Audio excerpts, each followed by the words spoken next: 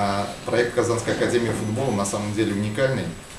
А, и без ложной скромности скажу о том, что аналогов тому, чего мы собираемся сделать в Казани, просто-напросто нет в мире. То есть наша задача не просто воспитание республиканских мальчишек, именно республиканских и казанских, по причине того, что э, ну, я сам коренной казанец, и я ратую за именно подготовку, подготовку республиканских и казанских футболистов. Mm-hmm. К сожалению, вот э, ни для кого не секрет, что в составе футбольного клуба «Рубин» не представлен ни одного футболиста. И я как э, мальчик, который с 6 лет э, ходил пешком до стадиона и занимался всем этим делом, я обеспокоен именно вот этой проблемой.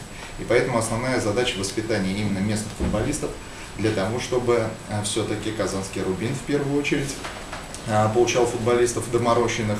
И, соответственно, э, наша задача также готовить футболистов для республиканских команд. То есть это КАМАЗ набережные Челны, то есть это нефтехимик Нижнекамск, который сейчас э, успешно пытается решить вопрос выхода в первую лигу. Сегодня ключевой матч с командой Уфы, и я сразу после пресс-конференции отправляюсь туда. Вот. И э, главная проблема какая э, любого, э, любого интерната, любой школы? То, что футбольный клуб попадает в лучшем случае один футболист из одного возраста. А, на протяжении долгого времени мы прекрасно видим, мы контролируем ситуацию, что действительно, но это будет один, два, три человека, которые заиграют действительно в большой футбол.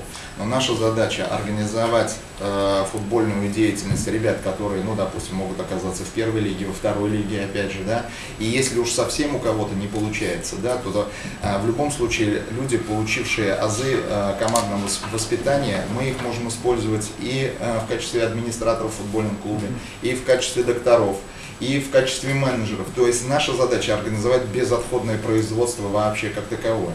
На начальном этапе э, все обучение для членов Академии бесплатное, но по итогам значит, выхода уже птенцов, скажем так, футбольных в свет, только после этого у футболистов начи начинают отчисления в фонд Академии. То есть изначально мы вкладываем деньги э, футболистов в организацию, в подготовку, и только после того, как они начинают зарабатывать деньги, определенный процент с их контракта на протяжении всей э, футбольной карьеры отчисляется в фонд Академии. Следующая проблема, которая существует у любого профессионального спортсмена, это э, постпрофессиональная не жизнь даже, а существование. В большинстве случаев, если спортсмены остаются в команде в качестве тренера, в качестве администратора, там, либо еще кого-то, а, то есть если э, удается зацепиться, то они продолжают двигаться вот в этом направлении и, э, скажем так, чувствуют свою причастность. Все остальные, э, как, значит, отрезанной ломоть очень сложно людям просто-напросто себя в жизни найти по причине того, что все профессиональные спортсмены, они находятся в определенного рода оболочке их кормят, поют, одевают, э, возят, привозят, да, посадили на самолет, отыграли, привезли. То же самое с бытом, э, жены, дети и прочее, прочее.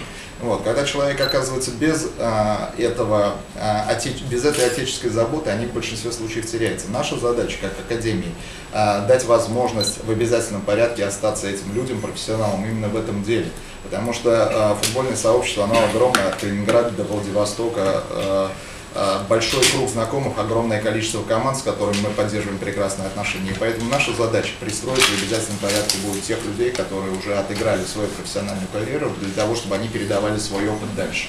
И последний момент, опять же, э, ну, не последний, а, скажем так, третий этап, это ветераны казанского э, футбола, который уже, ну, по большому счету, не имеет и профессиональной практики, и по времени, и по своему состоянию. Мы их используем в качестве Э, членов наблюдательного совета, которые худо-бедно, но принимают участие э, в жизни и в организации Академии, то есть они не имеют какого-то э, ну, серьезного статуса в плане руководства, в плане значит, каких-то выработки определенных направлений. Мы просто-напросто используем их опыт и держим их рядышком для того, чтобы люди чувствовали свою э, причастность и нужность элементарно, потому что находясь на пенсии очень сложно при том условии, что они всю жизнь этим занимались, и когда опять же выходят на пенсию, они просто-напросто не, не чувствуют себя нужными. Вот таким образом мы привлекаем, скажем так, и э, пенсионеров э, к нашему проекту. Вот, на мой взгляд, две лучших школы в мире. Это, это школа Барселоны и школа Аякса. Но и школа Барселоны, и школа Аякса до того момента, до 23 лет воспитывают футболистов.